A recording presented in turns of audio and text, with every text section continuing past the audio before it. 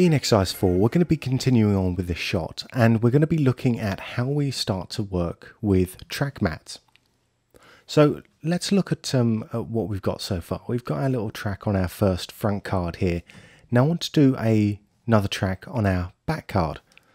Now because we're going to be using multiple layers uh, we should get into the habit of labeling our layers nicely in the layer controls.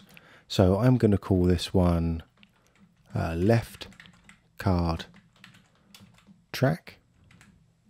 And the reason I put the little dash TR at the end is just so that I do know that um, certain layers are tracks and certain layers are masks. So it just helps me when I've got lots of layers that I can easily keep uh, keep track of, of which ones are which. So let's come in here and let's just draw as we did before a little first shape up here and let's call this one middle card. Track and I'm going to leave my parameters at the default settings for now. That's going to be uh, that's going to be more than enough. I should just mention that the minimum percentage of pixel used here um, this default value will change depending on the uh, size of your the frame. So the size of footage that you're using and the size of the shape that you're tracking. So we've got uh, working on an HD frame and uh, the shape here is quite large so it's given us a minimum percentage of pixels used as 30 so there's a good balance between uh, speed of tracking and accuracy. So sometimes if we if we aren't getting the accurate results that we need here we can just crank that up a little bit. But I think uh, to begin with you know the default value is, is pretty good. So all right let's have a look now up at the top. And we'll have a look at some of the options up on our viewer now so the first drop down menu we have here shows us the various things that we have uh, available for us, the various footage that we have available for us. We have our slider 001, which is our main clip that we've imported in. We've got the two mattes that we've created for our different layers here. And we've also got the default clips that come in as standard with every single project. Um, and these are the ones that we can use for insert clips. Now, if we bring in more footage to uh, to check things out, you know that will also show up here as well. And if you're working with Mocha Pro and you're using the other modules like the uh, remove or the lens, um, then these will also, as we process those out, these will also appear up here as well. For now, we'll just leave that on slider and we can work in either full, half or quarter res. And you can see that this, this is dropping down and this uh, will and once these low res proxies have been cached in, this will actually help smooth in um, the uh, the performance of the of the system. This was actually much more useful when computers weren't as powerful as they are today. So, and today I work in full res all the time, um, even when I'm working just on a on a laptop out in the field. But you know, if you are working with a, an older computer, uh, then you can take that down to uh, to half or quarter res. The next group of buttons up here just show us what um, what channels we're going to be looking at. So at the moment we're looking at the RGB channels. We can turn those off and see basically nothing because we've got nothing selected. Uh, we turn those back on and if our clip has an alpha channel we can check out the alpha channel there. Um, you can see this is pure white now which means that uh, the whole frame is is turned on so the whole frame is opaque. Now the interesting one for uh, for us now is actually these mattes here. So the mattes and the uh, the paint bucket here. So if I just click on mattes at the moment, it's showing me a cutout of my currently selected layer. Uh, and if I turn the other layer on, it's going to show me that instead. Now if I turn my paint bucket on, instead of just uh, showing me a cutout on a grey background, we actually get our uh, Rubylith effect, so our, our little um, matte overlay coming on. And as we saw in an earlier tutorial, we can just come in and color code all of these just by changing the layer controls over on the side here. And if we want to make this overlay stronger, we can just scroll that up and get it, well, the closer it gets to one, the more opaque it is, one being the absolute maximum and 0.1 being the absolute minimum.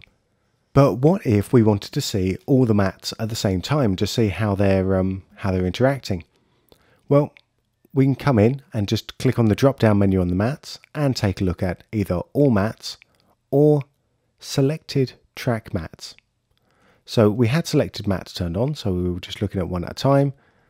selected track mattes doesn't seem to be doing anything different at the moment. But let's see what's going on. Turn this back to selected mattes just for the time being. And let's see what happens when I start to try to track this one through. So let's just uh, come here and we'll just track this backwards. And I should remember, actually I only want to track the mid card. I've already tracked the uh, left card here. So I'll just turn off the cog there and let's track again. Let's track through a bit faster. Now let's see what happens when these two interact.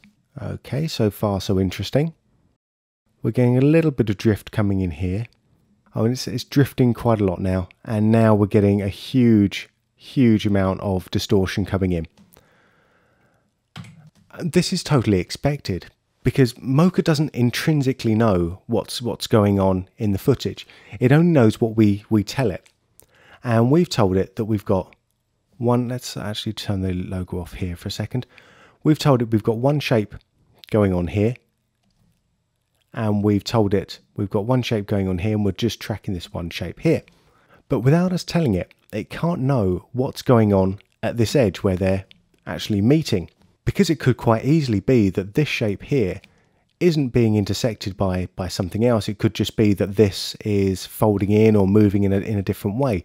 We need to tell Mocha actually what's going on with regards to layer order and how these shapes should interact. And this brings us to the idea of track mattes and layer order.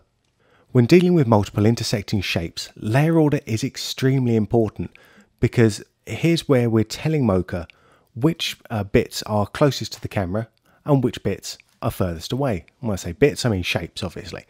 So at the moment, we're telling it that our mid card here is on top. So we're saying that this card is closest to the camera, when in reality, obviously it's uh, further further away from the camera than the left card is here. If I just bring this down underneath, so now we have our left card on top and our mid card underneath here. And turn my mattes back on here, and this is just remember selected mattes. And we can see they're just interacting here, or they're just overlapping here, I should say. But if I turn this to selected track mattes, you can see now what's going to happen when we track this through. Now, because we've changed the layer order, Mocha knows that this left card is above or in front of the mid card here. And this has big consequences for when we start to track this through. So I'm not changing any of the other parameters. I'm just going to go back and retrack this and let's see what happens. So I'm just going to go through and um, I'm going to come in actually into my dope sheet here, come to my mid card, and I'm just going to delete all of these keyframes. We'll be looking at the dope sheet later on. So basically I'm resetting my track here and let's just track that backwards again without touching any of the other parameters. And now you can see as these two interact that the top shape is being cut out and not being counted as part of the track. We've got other issues going on with that shape anyway.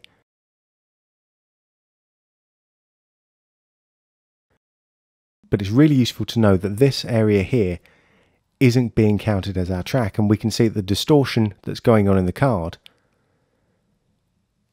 even though it is shearing when it shouldn't be shearing we can see we're not getting the same squeeze going on as these two corners or these two edges interact.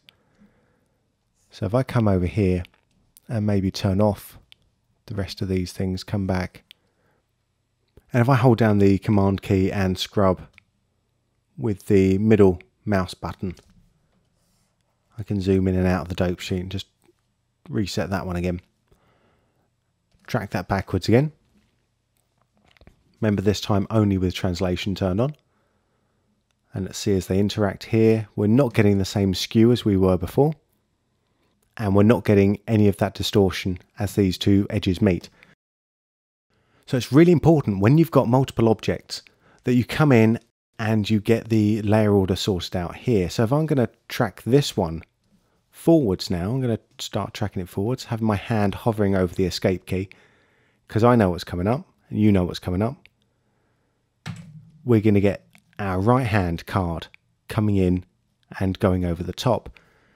Now, what we could do is we could come in and track both the right card right card track and the uh, we'll turn off the everything apart from translation there as well. So we could track the uh, the right card track and the mid mid card uh, simultaneously. But this could potentially lead to some uh, confusion going in uh, in depending on which order that those get processed. So I always find if you're going to use something as a track matte that we're going to track that one through first so let's just quickly track that uh, right card through and we can see where our original frame was, which is the first blue one here. And because we're not going to be tracking this card backwards uh, for the time being, I'm also going to use this opportunity to look at our layer properties down here. And we can come in and we can set the in and out point of individual layers so that they're only active for a certain range of the project. So here I'm going to just come in and set my in point here. So we're only going to be using this area here and onwards as part of the track matte. So anytime I go before that, that object is not going to be seen anymore. And because we're using it as a track matte, let's actually rename that to TM for track matte there. If I did decide at a later date that I wanted to track the whole thing backwards, I can just come in and reset my endpoint just with the button next to it. But uh, for the time being, let's just leave that there. I don't need to track that anymore, so I can turn off the process cog, turn the process cog back on on my mid track, and process the rest of that out. So now, as those interact together, we're getting still that perfect track going on on the middle card. And it doesn't matter, and this is actually the really cool thing about the uh, the plane tracker that I've just sort of actually skated over, really. It doesn't matter when certain bits of the area go either off screen or get obscured by um, other objects because we don't need all of this uh, data to be 100% accurate because our minimum percentage of pixels used down here is actually only set to 30. So we're only looking for you know 30% of the pixels to be matched before we're moving on. And this area that it's cutting out is maybe only a, a few percent, like three percent possibly of the entire area of the uh, of the surface.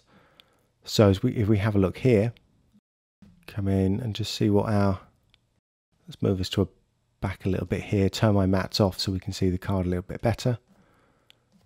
And we can come up and we can turn off the splines as well, just with this button on here. Toggle that off. Get a better view of this card here. Insert our logo back into that. And let's just play that back. Turn my surface off now actually while it's there.